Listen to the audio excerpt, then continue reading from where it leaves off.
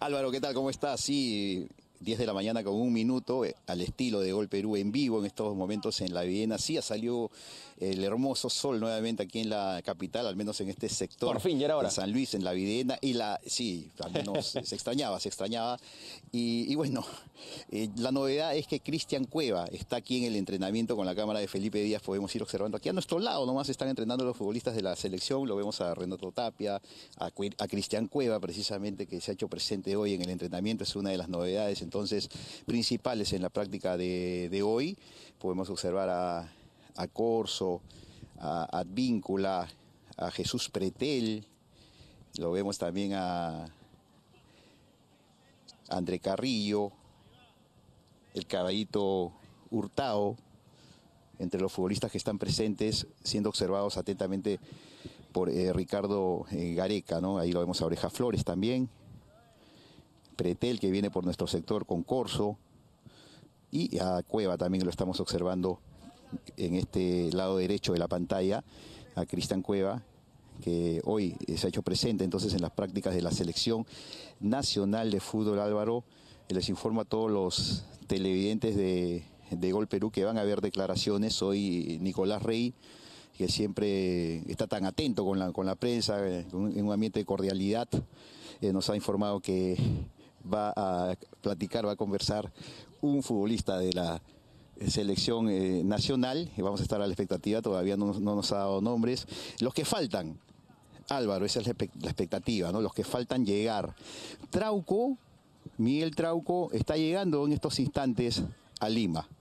Está llegando Miguel Trauco, está en el, en el aeropuerto ya, eh, prácticamente eh, de ahí se vendrá la videna.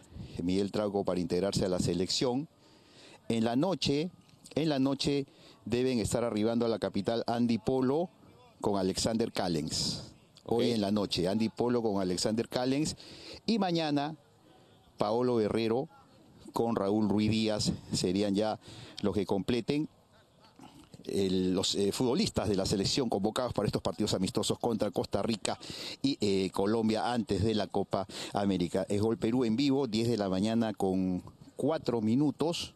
Estamos observando el entrenamiento en vivo al estilo de, Gol Perú de la Selección Nacional de Fútbol que se prepara para la Copa América. Álvaro. Así es, Ramiro, justamente hablabas de los jugadores que faltan llegar, ¿no?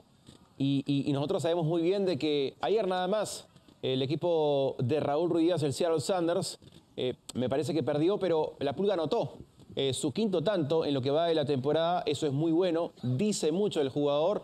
Y también, por otro lado, Paolo Guerrero, que está en una buena racha, ¿no? Ha regresado a los campos de juego en un buen momento futbolístico y esto obviamente suma mucho al ataque de la selección nacional.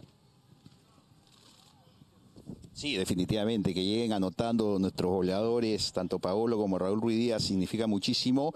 Eh, hay que aprovechar ese momento futbolístico que se ha plasmado en la, en la selección, eh, sobre todo Raúl Ruiz Díaz, ¿no? Raúl Ruiz Díaz que en los últimos partidos no, no le ha ido tan bien en la selección, pero hay que recordar, ¿no? Ese, ese eh, gol polémico con la mano contra, contra Brasil que nos dio el, el triunfo en esa Copa América, uno de los goles más recordados por los brasileños, y nuevamente nos va a tocar Brasil y, y Raúl Ruiz Díaz lo, anotó, ha anotado otros tantos con la selección nacional de fútbol y el hecho que lo siga convocando Ricardo Gareca habla que le tiene mucha fe, mucha confianza al, delantero ex universitario de, de deportes, ¿no? Y bueno, y lo de Paolo Guerrero ni hablar, ¿no? Está en un momento rimbombante de su carrera, creo que ni el, más pesimista eh, pensaba pues que Paolo Pa- Paolo iba a volver de esa, de esa manera, o el más optimista, eh, anotando tantos goles como lo está haciendo en el fútbol brasileño luego de esa tremenda para de varios meses que tuvo y, y definitivamente esto le conviene a la selección nacional de, de fútbol. ¿no?